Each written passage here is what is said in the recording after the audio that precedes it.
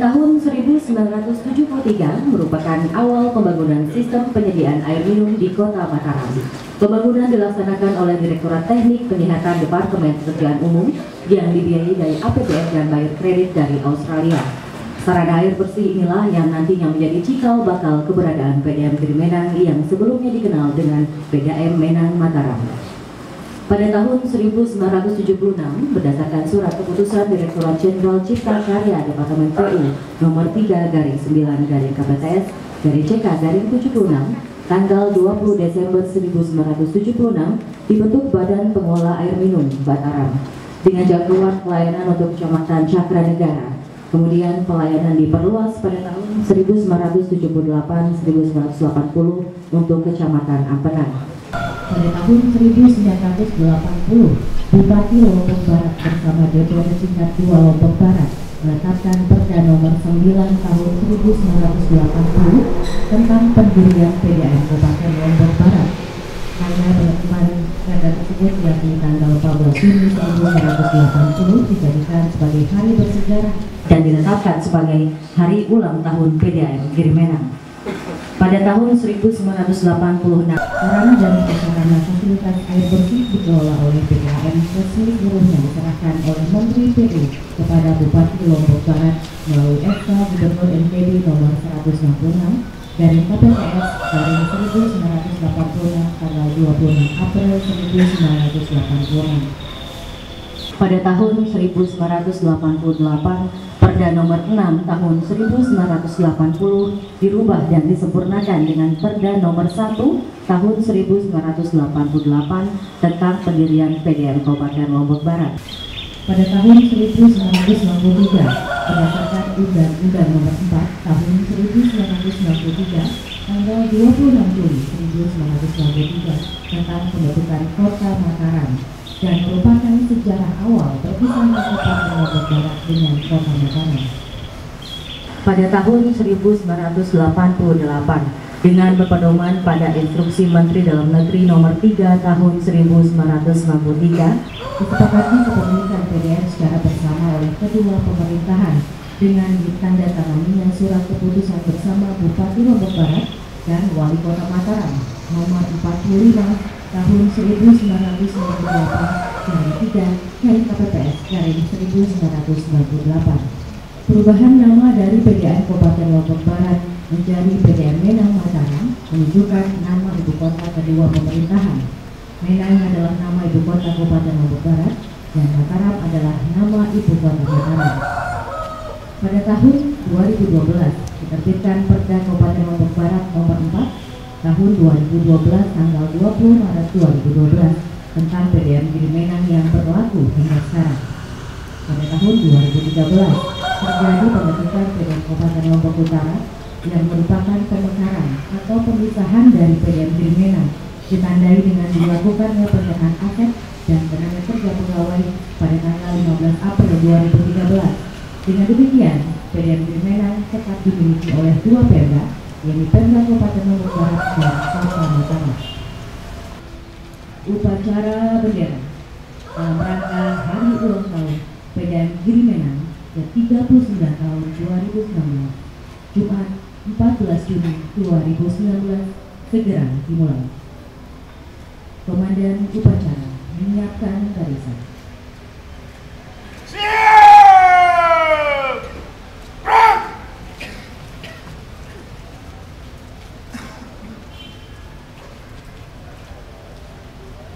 Inspektur upacara memasuki tempat upacara.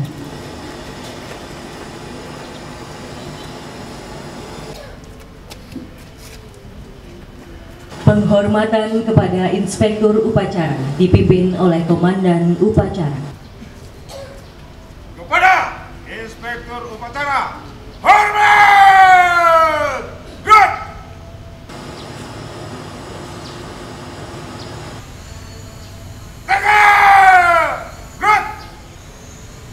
laporan Komandan Upacara kepada Inspektur Upacara bahwa upacara segera dimulai.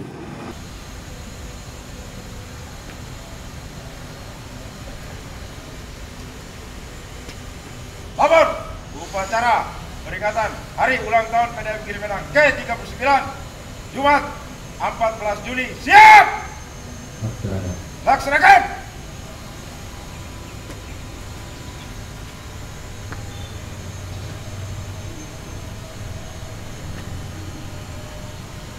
pengibaran bendera merah putih dipimpin oleh Komandan Upacara.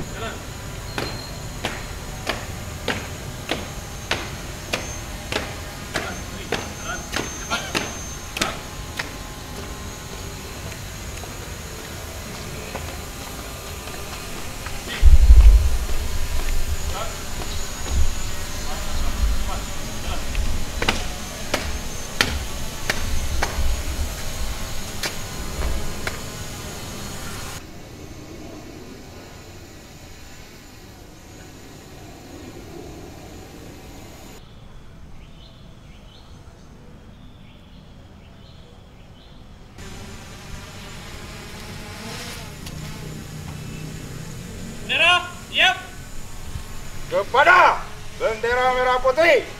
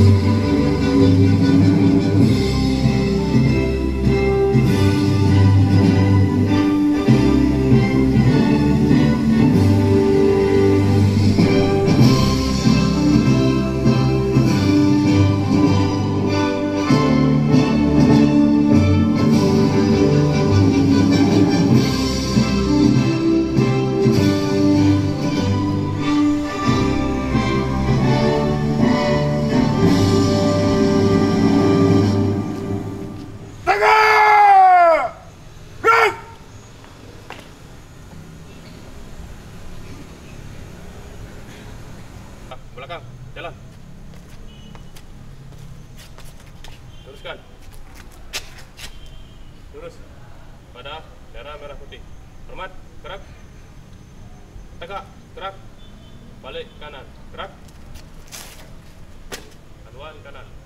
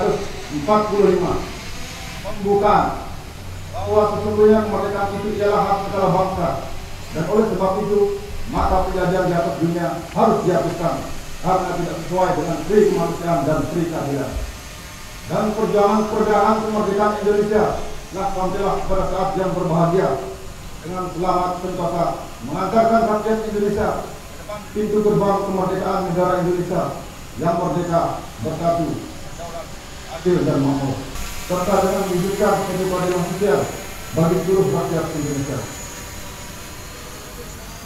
Pembacaan telah dilaksanakan. Laporan selesai. Kembali cepat.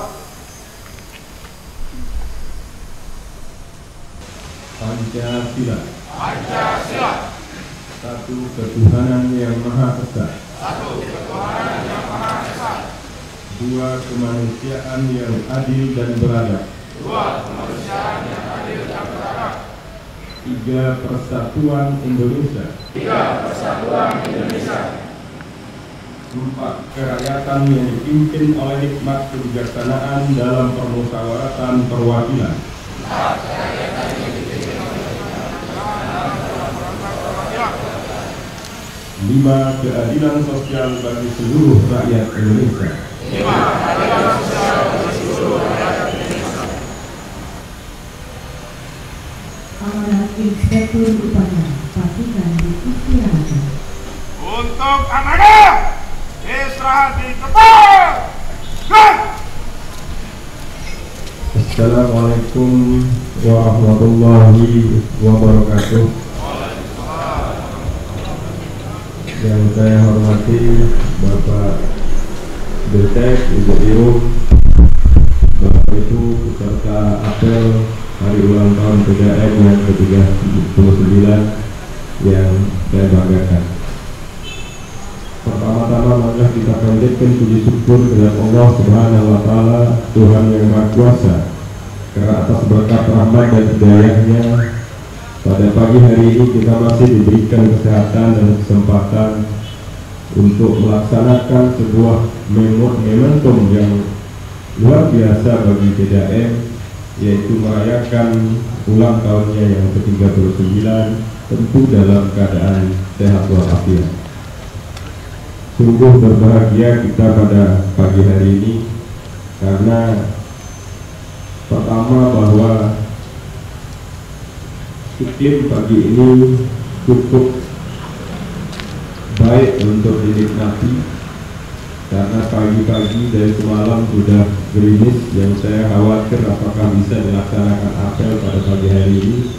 Ternyata itu hanya mengantarkan kita untuk supaya suasana apel ini menjadi tenang, damai dan ini adalah hikmah yang luar biasa bagi kita Bapak Ibu yang saya hormati, memperingati ulang tahun bukanlah semata hanya sebuah seremoni, tetapi sesungguhnya setiap perayaan ulang tahun adalah sebuah ruang bagi kita untuk muhasabah, koreksi diri tentang apa yang sebenarnya sudah kita lakukan.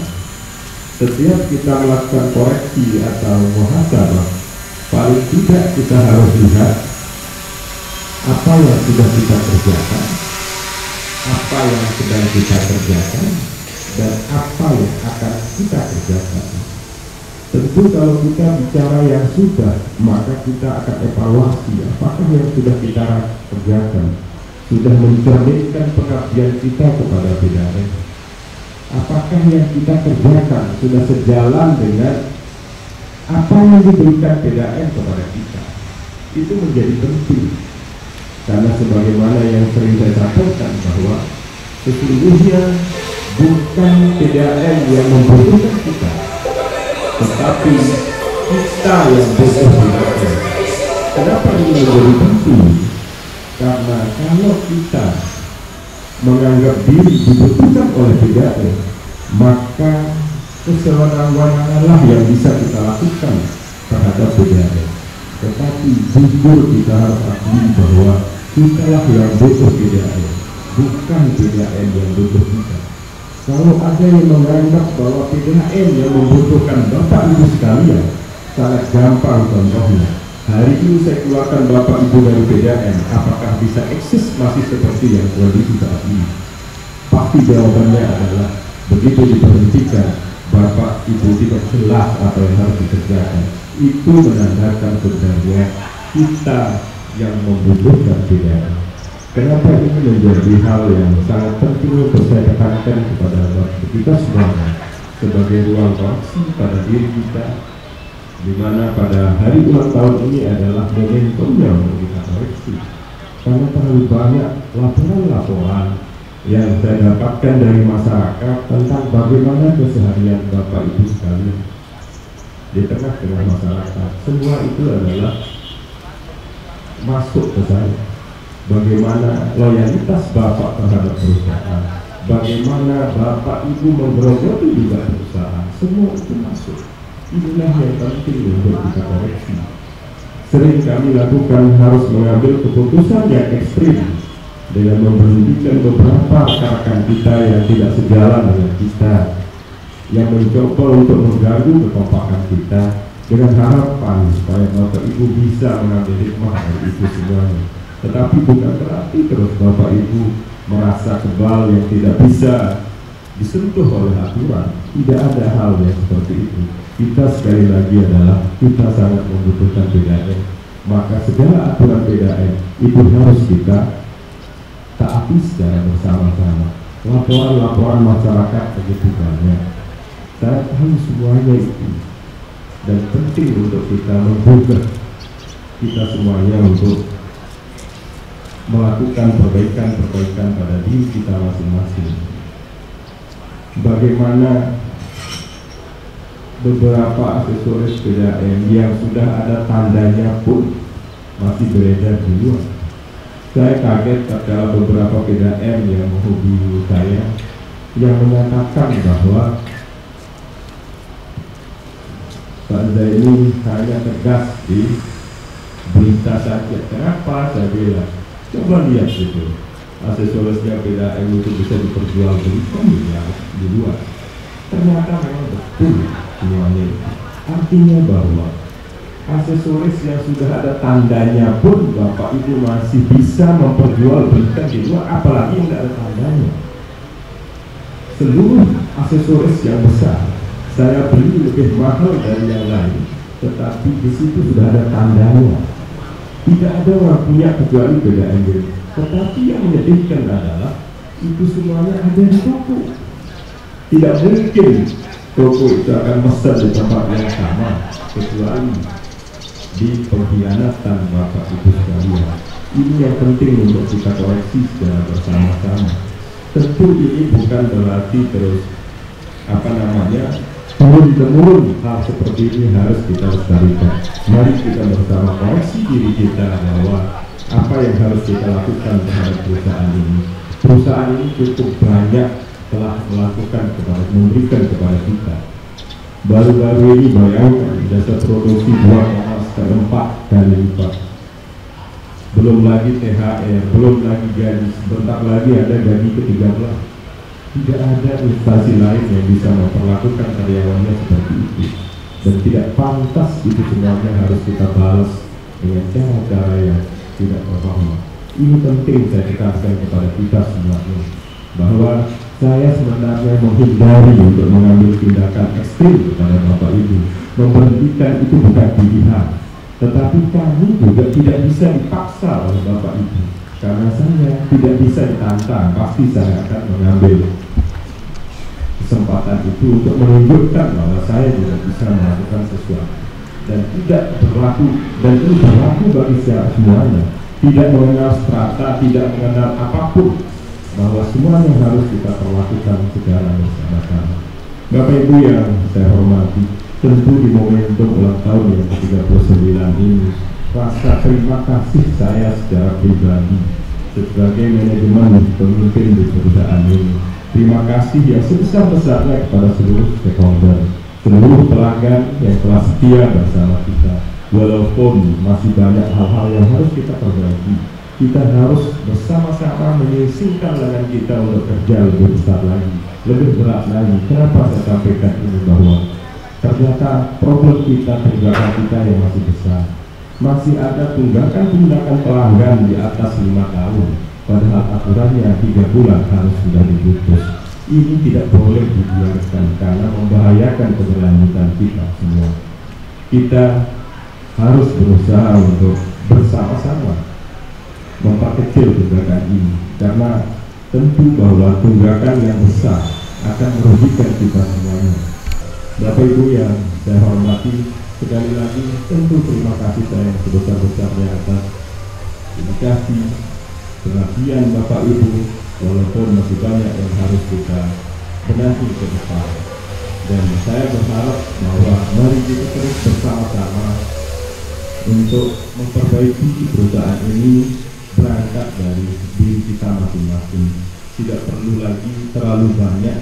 Saya yakin PDAM masih memiliki ruang untuk menyimpan sesuatu, aksesoris dan lain sebagainya. Tidak perlu harus membuat gudang di masing-masing rumah Bapak Ibu sekalian. Mari kita benahi secara bersama-sama. Mari terus ini semuanya adalah untuk kebaikan kita bersama. Tidak perlu kita umpama terlalu istimewa terhadap perusahaan ini. Semua kita adalah sama. Semua kita memiliki peran dan tanggung jawab yang sama. Saya pun setiap saat bersedia untuk dicabut kewenangan saya untuk berdiri di hadapan Bapak Ibu sekalian dan tentu saya sudah menyiapkan itu semuanya sebagai bekal bahwa tidak ada sesuatu yang abadi tetapi kebaikan yang kita lakukan itulah yang akan selalu dikenal oleh orang-orang yang menerima kebaikan kita itulah beberapa hal yang dapat kami sampaikan sebagai amanah saya di ulang tahun PDAM yang ke-39 ini. Demikian yang dapat kami sampaikan sebagai amanah saya di ulang tahun yang ke-39 dan harap dan harapan untuk ulang tahun ini akan mampu membawa perubahan ke arah yang lebih baik bagi kejayaan BKM ke depan. Kurang lebihnya mohon maaf, wabillahi taufiq hidayah. Assalamualaikum warahmatullahi wabarakatuh.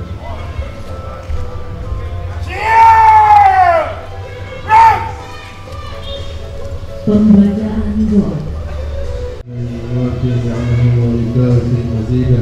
Ya Rabbana lakal hamdu kama ربنا لك الحمد كما ينبغي لجلال وجهك الكريم وعظيم سلطانك اللهم يا الله kami panjatkan puji syukur kehadiratmu atas segala nikmat yang telah engkau anugerahkan kepada kami sehingga kami dapat berkumpul di tempat ini dalam rangka memperingati hari ulang tahun PDA yang Buringan yang ke-39 Allahumma ya Allah 39 tahun sudah kami berkiprah memanfaatkan karuniamu Untuk melayani kebutuhan air bagi masyarakat di kota Mataram dan Lombok Barat.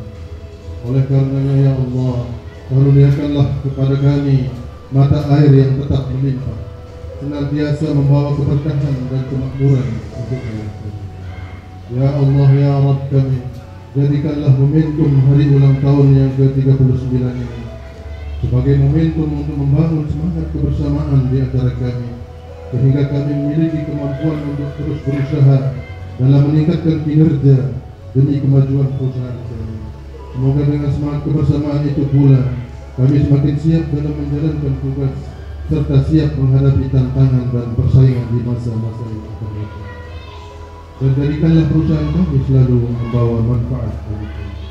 Ya Allah ya Rabb kami, ampunilah segala dosa kami, dosa dan kesalahan kedua orang tua kami, dosa kami, dosa para pemimpin kami, dan dosa para pendahulu kami. Ya Allah, ya Rabb kami, terimalah segala amal ibadah kami dan kabulkanlah doa dan permohonan kami. Rabbana atina fid dunya hasanah wa fil akhirati hasanah wa qina adzaban nar. Wa sallallahu ala nabiyyina Muhammad wa ala alihi wa sahbihi ajma'in. Subhana rabbika rabbil izzati amma yasifun. وسلام على المرسلين والحمد لله رب العالمين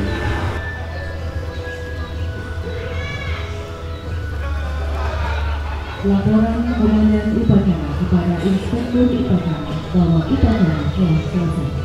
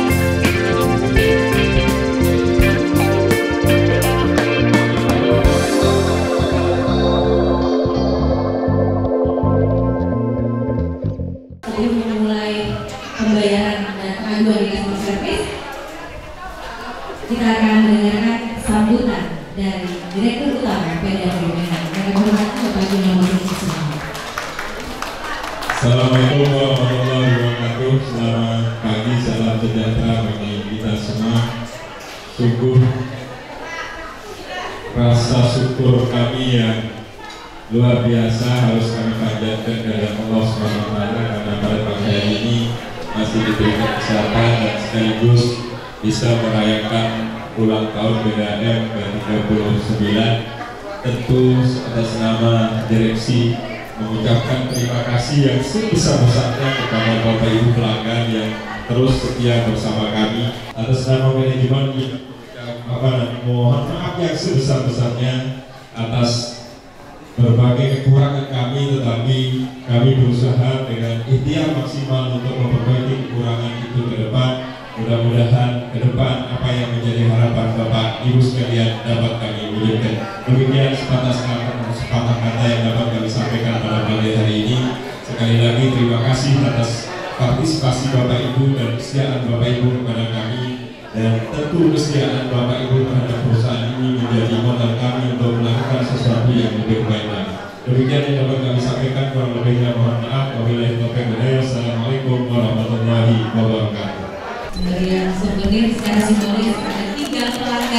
pelanggan